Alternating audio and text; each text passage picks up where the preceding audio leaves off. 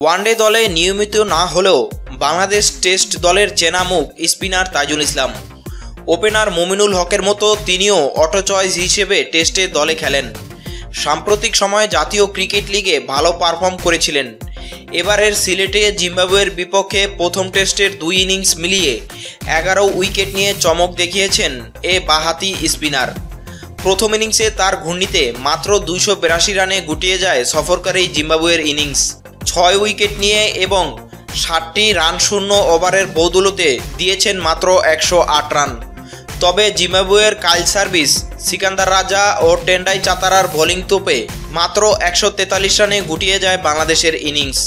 ঠিক পরের ইনিংসে আবারও জ্বলে ওঠেন তাইজুল ইসলাম। প্রথম ইনিংসের শেষ দুই বলে দুই উইকেট নিয়ে হ্যাট্রিকের সম্ভাবনা জাগিয়েছিলেন তাইজুল। তবে পরের ইনিংসের প্রথম ওভার বোলিংয়ে এসেও সেই আশা পূরণ করতে পারেননি তিনি। জিম্বাবুয়ের দ্বিতীয় ইনিংসে যেন আরেক বলার মেহেদি হাসান মিরাজের সঙ্গে প্রতিযোগিতায় নেমেছিলেন তিনি।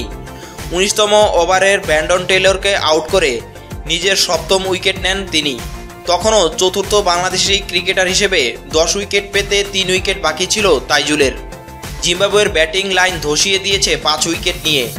সিকান্দার রাজাকে আউট করার মধ্য দিয়ে এক টেস্টে দশ উইকেট লাভ করেন তিনি।